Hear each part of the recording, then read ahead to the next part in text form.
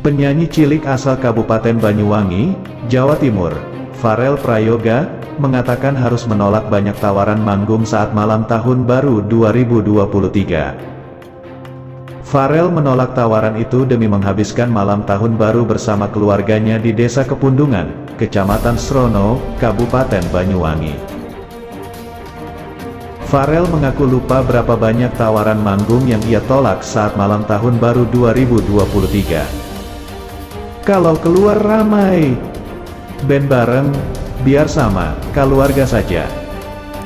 Yang penting banyak, ucap Farel Prayoga saat ditemui Tempo di SDN 2 Kepundungan, Senin, tanggal 2 Januari tahun 2023. Ia dan keluarganya hanya membakar kambing, ikan, dan ayam saat malam tahun baru 2023. Cuma bakar-bakar biasa saja, kambing, ayam, ikan.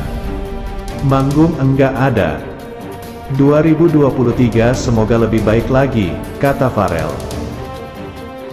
Farel yang kini kelas 6 sekolah dasar itu akan melanjutkan pendidikan ke jenjang berikut di SMP daerah setempat. Ia belum ingin pindah ke kota besar. Sekalipun banyak tawaran manggung, Farel tidak kesulitan mengikuti pelajaran di sekolah. Farel Prayoga sadar kepopuleran dirinya punya dampak negatif. Ia merasakan banyak orang menggunjing dan tidak suka atas prestasinya menyanyi.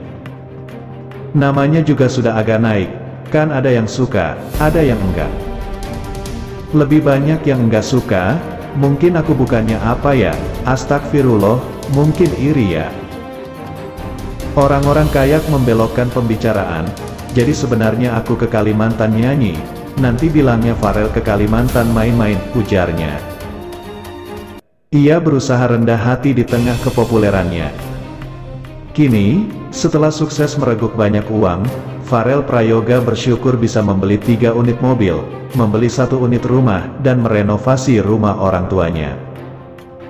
Buat keluarga, bangun rumah, renov rumah, beli rumah. 3. Mobil. Katanya, penyanyi senior legendaris, Iwan Fals akan berduet dengan penyanyi cilik Farel Prayoga dalam perayaan HUT Indosiar ke-28. Pelantun lagu yang terlupakan itu mengaku nggak sabar untuk berduet dengan bocah yang viral di media sosial sampai diundang Presiden Jokowi ke Istana Negara. Iwan Fals memuji kualitas suara bocah yang viral gara-gara menyanyikan lagu Ojo dibanding ke, yang menurutnya sangat luar biasa.